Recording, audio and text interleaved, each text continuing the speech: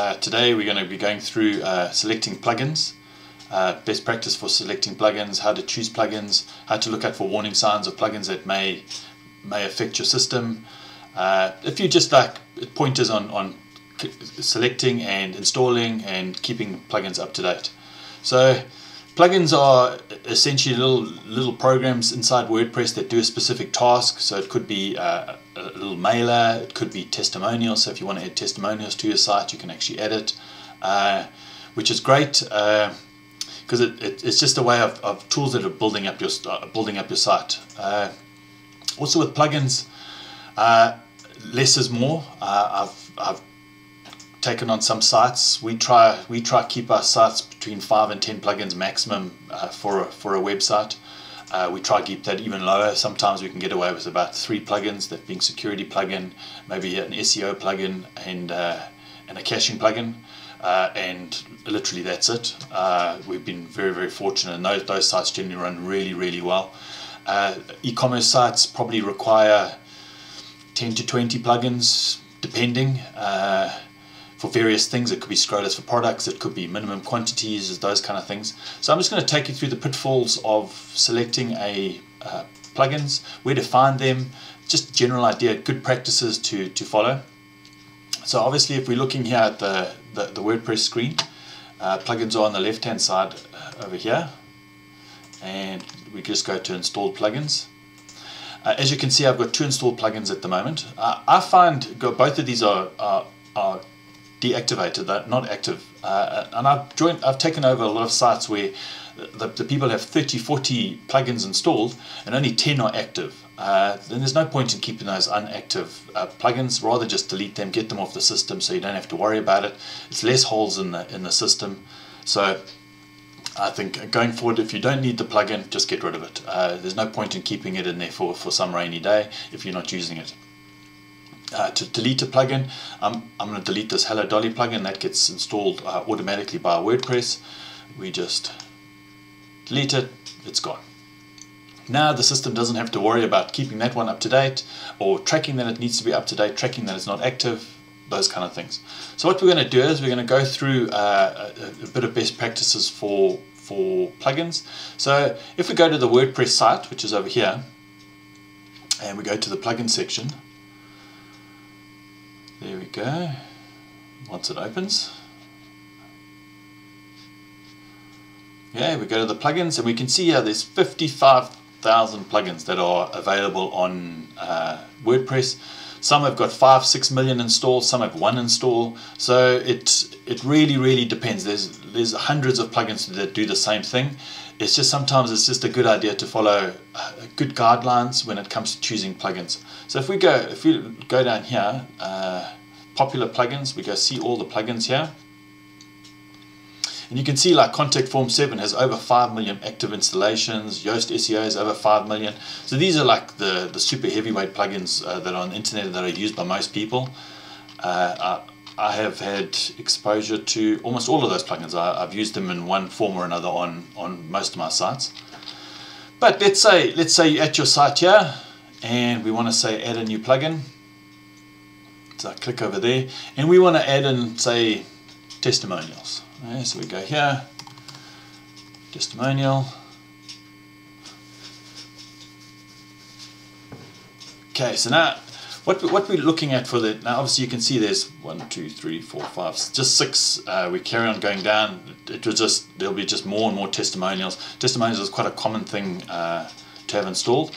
So what we want to do is, when, when looking at the page, there's a few things you want to look at. You want to look at the rating, which is over here. This is this has got a five star rating. You're looking at the active installs. You're looking at the last update, uh, and then making sure that it's compatible with your version of WordPress. Now to get more details about the, the plugin, we just go, we click on it and it'll give you more details. And this, this is the same information that appears at WordPress. So if I click on Contact Form 7, you can see it's the same information that appears at WordPress. But now I can actually see that information inside the site. Uh, I look down here and I see it's uh, last updated one week ago. It's nice to look at the change log and you can see the, the uh, how, how often it's been updated so you can see that this is one two three four four times just in this month alone, uh, which means it's been updated quite regularly. It's keeping track with, uh, uh, it's, it's, very, very active. Uh, people are actually looking after it, and that's a, it's a good thing. Uh, you want somebody who actually has a vested interest to actually look after that plugin. We go down here. it's got quite a quite nice instructions. It's got good installation instructions. Uh, it has a FAQ. Uh, sometimes the frequently asked questions actually appear to another website, which is also a good thing because uh, here you can see you can go to the plugin homepage and you can get more information on that plugin. So this looks like, in all intents purposes, it looks like a really, really good plugin. Uh, but we'll go look at one of the other ones. Uh, and and what I'm saying is is by choosing these uh, the plugins, even though it says 50,000, one may have 1,000. Not a reflection that it's a bad plugin. It's just it's just some things that you need to look out for when choosing a plugin. You don't really have the knowledge to be able to fix the issue, or you'd need a developer to fix the problem if something happens. I'm going to testimonial basics, and you can see this was updated one month ago. It is compatible with uh, this version of WordPress. We look at the changelog. Uh, it doesn't really have here, but uh, it's got 9,000 active installs. It looks like a very, very good plugin. It doesn't look bad at all. Uh, but if I was if I was a betting person, I'd probably say, okay, let me go for the one that's uh, probably the, the strongest or the best, and take it uh, take it from there. So I'd take this strong testimonials. I'll install now by just clicking on that button. and activating as soon as uh, as it becomes active and here we go. Active activate. And it should take me to the plugins list. Uh, actually this one actually has taken me to uh, a bit of an instruction. This makes it probably an even better plugin.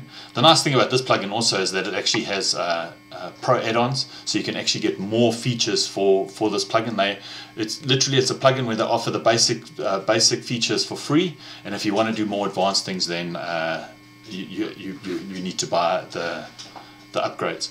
Similar with security plugins, I know iTheme Security and uh, WordFence and all those kind of plugins. You can buy the security that gives you the basic security that protects your site, or you can go for the pro version that gives you even more uh, granular kind of control over your site. Yeah. So that's that's how easy it is to to install a plugin via the WordPress backend, and there you can see strong testimonials. Uh, um, what I'm going to do is I'm just going to delete uh, the anti-spam there and I just literally only have one plugin that I need to look at look out for. Now there's various other ways of getting plugins. It's either through the WordPress front end and that's normally free plugins, uh, generally is free plugins. There's uh, you can get it through GitHub or another Git repo place uh, that that stores websites. That's a little bit more technical that you uh, to to download and install the plugin, but it's also a great way of finding the kind of plugins that uh, haven't been released for uh, on WordPress but are available uh, for you to download. Another place is you can go to a place like I think this is Code Canyon. this has got hundreds of different plugins uh, for various things from e-commerce plugins, WordPress plugins, uh, utilities. Uh, these generally you always buy uh, and it has various licenses uh, in, in regard with them. The, the, better the plugin, the more expensive uh, it, it, will be. if we go here, here's GitHub. This is GitHub over here, another place to look for, for plugins. And you can see here, like WooCommerce, we went here, back to this, go back you can see uh, WooCommerce is a very, very active plugin here. There we go. Very, very active plugin. And yeah, we can see the same one over here. The nice thing is you click into WooCommerce and GitHub, and you can see it's got 712 contributors. Now, some repos maybe have two contributors, so you've got two people that look after the site. This has 712. You're looking at how many commits it's had. It's at almost 30,000 commits, 28,000 commits. So this is a very, very active uh, active plugin. There's a lot of changes, like 20 hours, two months, nine, nine days ago. So it's very, very actively maintained. So this is the kind of plugin that you should choose to work with on your site. Code Canyon, uh, literally the nice, the other what what you can look for in Code Canyon. Like if you look here, it says eleven dollars, only one sale. So only one person has literally bought this this plugin it's probably just been uh, just been added to the system. But yeah, you, you want to look at uh, the author. Uh, let me go down here. Oh, here we go. More items from Gambit Tech. So you're looking at, you say, these are the kind of uh, more plugins that this developer has developed. So they're very, very active at developing plugins. You're looking at the kind of support that uh, uh people have given. Uh, but yeah, it's in it's in Code Canyon's best interest to have plugins that are secure and and safe. So it, it, it is a, a healthy place to go buy plugins. Another way that I find to choose plugins is sometimes you don't really know which plugins you you're looking for. Uh, I just literally go through to uh, uh, Google. I type best security plugins. It says the, these are the seven best security plugins available for WordPress. Da, da, da, There's hundreds of articles that you can go read on on what other people have done and they've tested the software. I, I use this all the time. Uh, it is a, is a great way of, of using the knowledge that's available on the internet. One thing to look out for is always look at the dates. Okay? Uh, many times somebody will read an article from 2013 or 2014 and those are very very out of date uh, WordPress is a, is a thing that gets updated monthly uh, actually sometimes weekly uh, so security protocols or security plugins from a year ago are not going to be the same as the security plugins that, that are available now. So it's probably best to always choose the one in the year. We're in June there's June the 4th 2018 right now I can obviously go look at this one and, uh, and, and look at what they've they've recorded about what the plugins are out there. Then there's also literally there's plugins that are available directly on the internet. Uh, so here we've got Gravity Forms. I use Gravity Forms ex exclusively for, for all my development sites. Uh, I know there's Ninja Forms, there's quite a few other forms. Uh, here you, you purchase directly from them, uh, very, very reputable company. And at the end of the day, you can go look at the website, you can look at their forums, you can look at their frequently asked questions, and then you'll understand uh, what kind of support uh, that company gives towards their plugin. But yes, few basic rules, like I said, in conclusion, plugins are literally every single WordPress site has plugins. Uh, I'd say less is more. Always try to have as fewer plugins as possible. Try not have any inactive plugins available on your site, rather have them deleted.